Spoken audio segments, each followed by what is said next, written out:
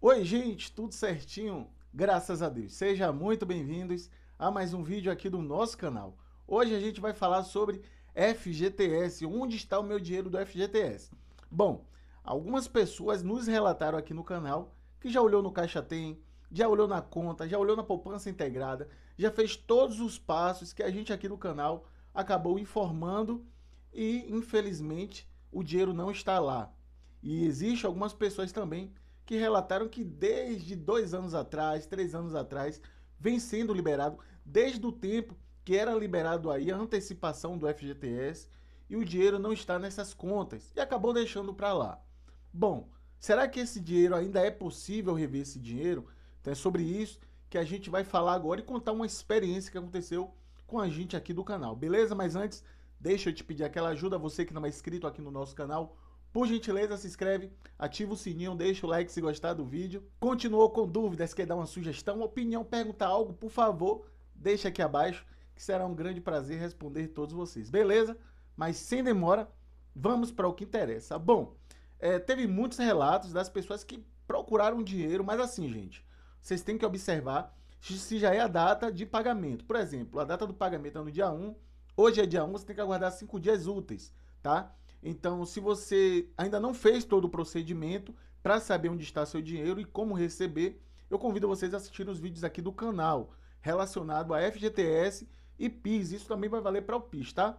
E outros pagamentos que a Caixa Econômica Federal ela disponibiliza, não do Banco do Brasil, só da Caixa Econômica Federal. Mas, para isso, vocês têm que ter a atenção aí também com o item. É, eu vou contar uma história, um relato que aconteceu comigo. Uma certa vez, eu estava entrando em uma empresa para trabalhar e a empresa mandou que eu abrisse uma conta dentro da Caixa Econômica Federal. Nesse momento que eu fui na Caixa Econômica Federal abrir a conta, como pessoa física, você não pode ter mais de uma conta é, corrente ali no, na Caixa Econômica Federal. Então, quando a, a gerente ela foi abrir minha conta, ela percebeu que eu já tinha uma conta aberta.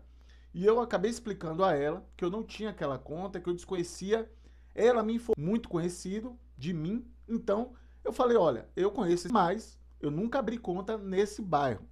E ela informou, sim, essa conta está aberta em seu nome. Então logo eu tomei um susto e fiquei preocupado. Eu falei, olha, pode estar tá tendo alguma coisa de errado aí, fizeram uma fraude, a gente pensa logo isso, fizeram uma fraude com meu nome.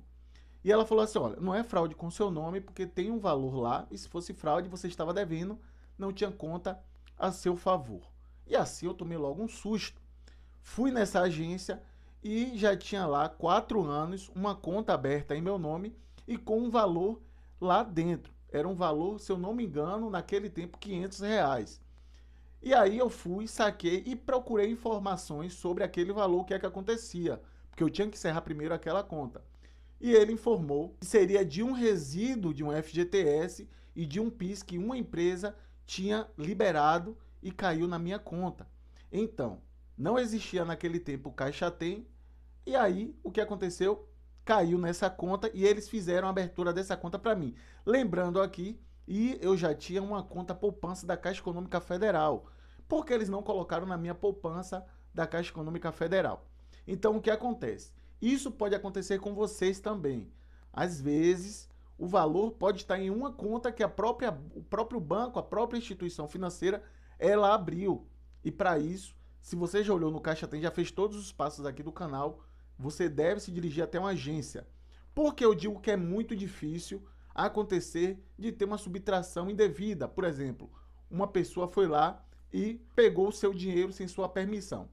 Porque para você colocar uma conta para recebimento automático, essa conta do FGTS com seu CPF tem que ser a mesma com o CPF de quem está colocando a conta. Entenderam? Então você não pode colocar a conta de mãe, ah, vou colocar a conta de minha mãe. Não pode. Meu pai não pode. De minha esposa, que a gente tem conta junto. Não pode.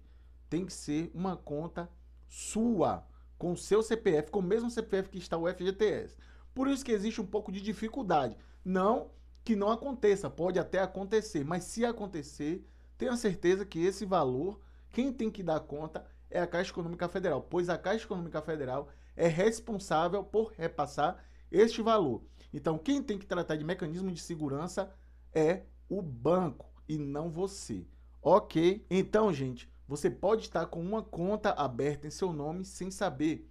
O próprio sistema da Caixa Econômica ela pode fazer a abertura dessa conta ou deixar esse valor já disponível. Saiu do extrato do FGTS, mas você não vê em nenhuma conta, então fica liberado e você tem que ir sacar na agência. Ok? Mas lembrando, antes de ir na agência, se certifique que o valor já realmente saiu e já é a data de recebimento, para que você não vá e perca seu tempo. Beleza? Então espero ter te ajudado aqui. Se continuou com dúvida, já foi lá e não resolveu mesmo assim, deixa aqui abaixo para a gente bater um papo e tentar ajudar vocês de alguma maneira, ok? Um forte abraço, que Deus abençoe sua vida em nome de Jesus e valeu!